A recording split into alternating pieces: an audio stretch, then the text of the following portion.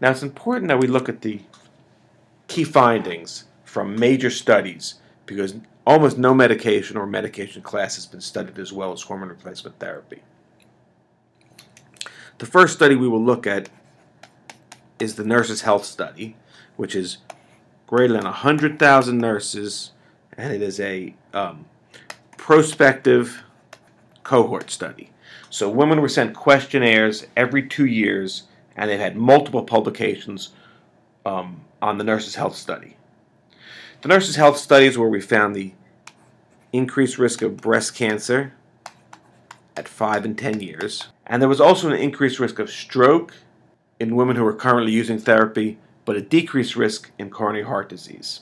The next study to look at is the PEPI trial. PEPI is the post-menopausal estrogen and progesterone intervention trial.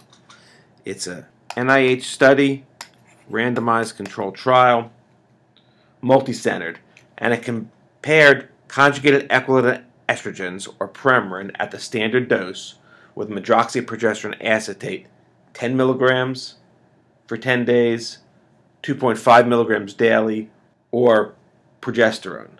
There was a estrogen only arm. What they looked for here was lipid um, profiles as a marker for coronary artery disease. And what we found was that estrogen was better than estrogen progesterone, better than placebo for improving lipids, especially HDL. And these were all oral formulated medications. The next study to look at is the HERS trial, which is the heart and estrogen progesterone replacement study. This was a four-year randomized controlled trial with 2,700 women and it was a secondary prevention trial. And that's really important to think about. So these were women who had already established heart disease. Many of them have already had a heart attack, and they'd given them estrogen in order to see what would happen. The key findings of the HERS trial was that HRT did not prevent heart attacks or other serious events. There was a positive effect on lipids, and there was much more cardiovascular disease in the active group during the first year. But after two years, there was less cardiovascular events in the active group than in the placebo group. The curves for this study were really important.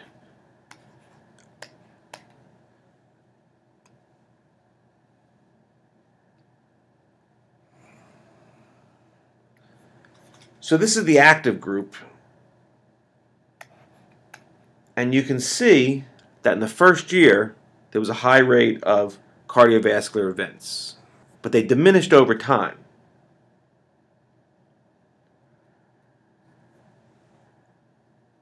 The placebo arm caught up in year two and then sort of flattened out. So the long-term findings of this study were that women who took coronary heart disease actually had a benefit in terms of secondary prevention. But the difference was so dramatic in the first year, with a relative risk of 1.5, that the study was stopped early and it stopped the use of estrogen in women who had previously had coronary artery disease. The next study we want to look at is the ERA trial, and that's the estrogen replacement and atherosclerosis study. It's a three-armed, randomized controlled trial with 309 women. And the key findings of this study was that there was no significant improvement or worsening in atherosclerotic plaque when women took estrogen. And that leads us to the WHI, the Women's Health Initiative.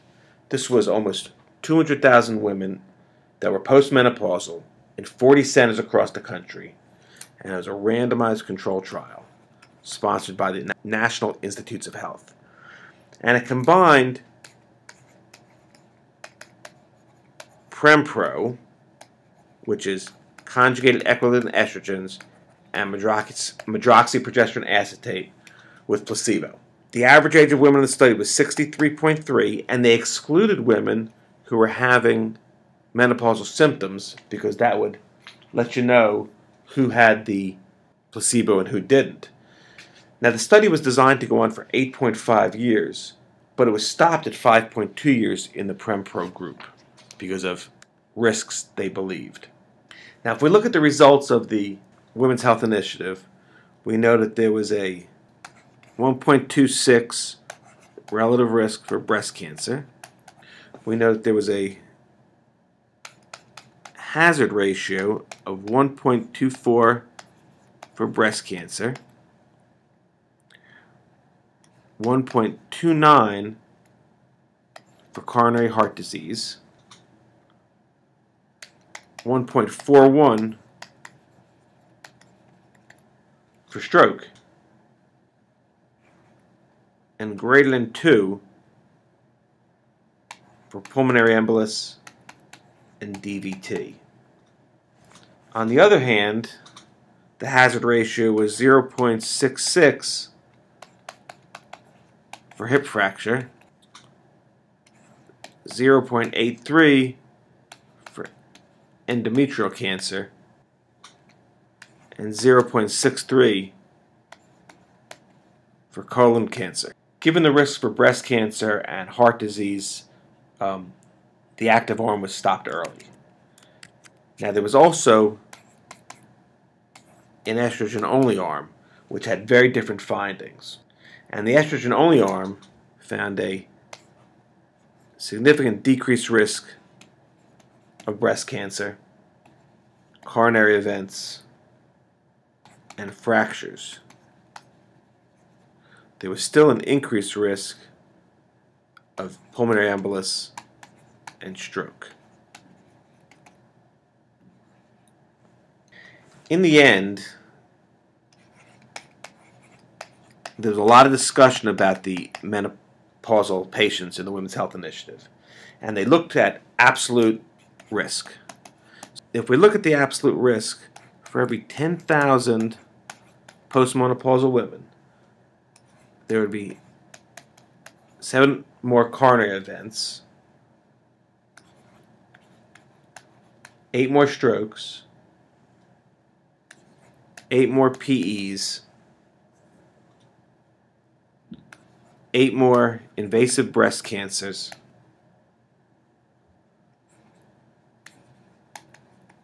six fewer colorectal cancers, and five fewer hip fractures.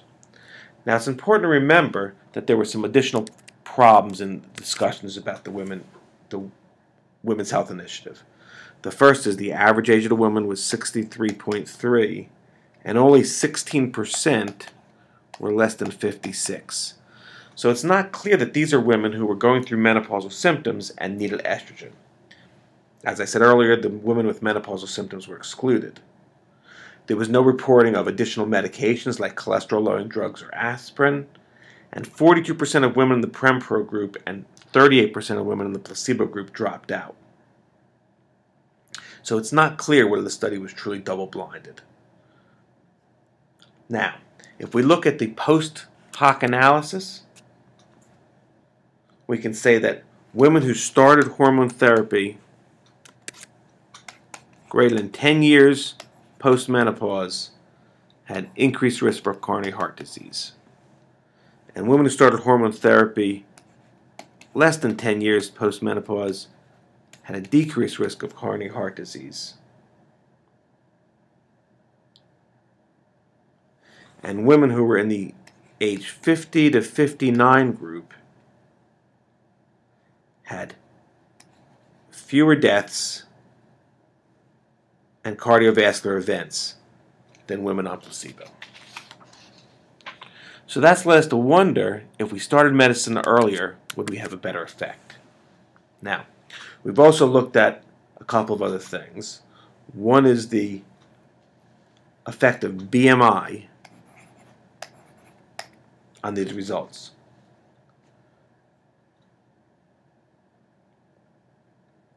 So if we look at coronary heart disease and women's BMI, we know that from every BMI beyond 25, coronary heart disease goes up approximately twice the relative risk. But the risk of women in the WHI was under 1.5. So BMI plays a big role. Finally, two other studies I want to talk about. The first is one that looked at oral versus transdermal estrogen and the effect on lipids. And the transdermal estrogen studies have shown a significant decrease in triglycerides.